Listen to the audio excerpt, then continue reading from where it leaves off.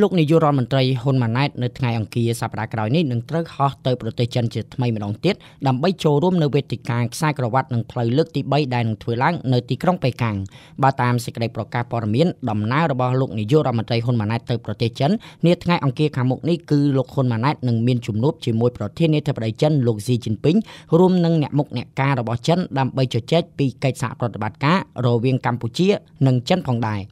សេចក្តីប្រកាសព័ត៌មានរបស់ក្រសួងការបរទេសកម្ពុជាបានឲ្យដឹងថាលោកនាយករដ្ឋមន្ត្រីហ៊ុនម៉ាណែតនឹងត្រូវចូលរួមវេទិកាខ្សែក្រវ៉ាត់និងផ្លូវលើកទី3របស់ចិននៅថ្ងៃទី17និងថ្ងៃទី18តុលាក្រោមមូលបត្រកិច្ចសហប្រតិបត្តិការខ្សែក្រវ៉ាត់និងផ្លូវប្រកបដោយគុណភាពរួមគ្នាដើម្បីការអភិវឌ្ឍនិងវិបុលភាពរួមនៅក្នុងវេទិកាដែលនឹងធ្វើឡើងនៅទីក្រុងប៉េកាំងនោះលោកហ៊ុនម៉ាណែតក៏នឹងត្រូវឡើងថ្លែងសន្ទរកថាដោយផ្ទាល់អំពីសេដ្ឋកិច្ច Digital ជាប្រភពកំណើនថ្មីមុនពេលដែលលោកនឹងត្រូវជួបជាមួយលោកស៊ីជីនពីងនិងអិសរាជជនបរទេសដទៃទៀតដើម្បីពិភាក្សាការងារក្រសួងការបរទេសកម្ពុជាបានឲ្យដឹងទៀតថាការចូលរួមវេទិកាខ្សែក្រវ៉ាត់និងផ្លូវលើកទី3របស់ចិនពីសំណាក់លោកនាយករដ្ឋមន្ត្រីហ៊ុនម៉ាណែតលើកនេះគឺដើម្បីបញ្ជាក់ជាថ្មីថាកម្ពុជាបានគាំទ្រចំពោះគំនិតប្រួយផ្ដើមខ្សែក្រវ៉ាត់និងផ្លូវនិងការសហការយ៉ាងជិតស្និទ្ធជាមួយចិនដើម្បីជំរុញកិច្ចសហប្រតិបត្តិការខ្សែក្រវ៉ាត់និងផ្លូវឲ្យកាន់តែរីកចម្រើនគួរកត់សម្គាល់ថាដំណើរទៅកាន់ប្រទេសចិនជាថ្មីនេះគឺជាដំណើរលើកទី2របស់លោកហ៊ុនម៉ាណែតក្រោយបានឡើងកាន់តំណែងជានាយករដ្ឋមន្ត្រីជិត2ខែមកនេះ